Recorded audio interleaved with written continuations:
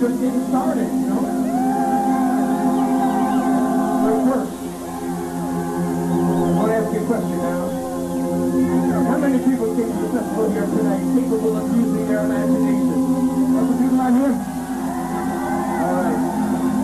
Have to imagine yourself. This won't take too much imagining now. I'm kind of close, close to reality now.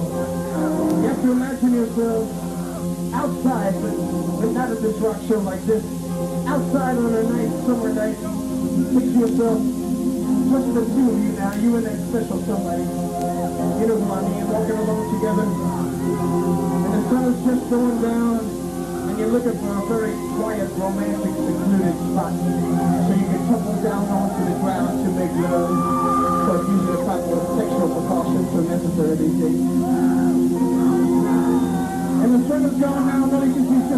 Just the two of you now, or the three of you if that's your preference. And the first star seems to come out in the sky, and you're just about to make a wish. And all of a sudden, that star starts getting closer and closer, till all of a sudden it's a pulsating disc coming right over your head. And even within the night, you hear the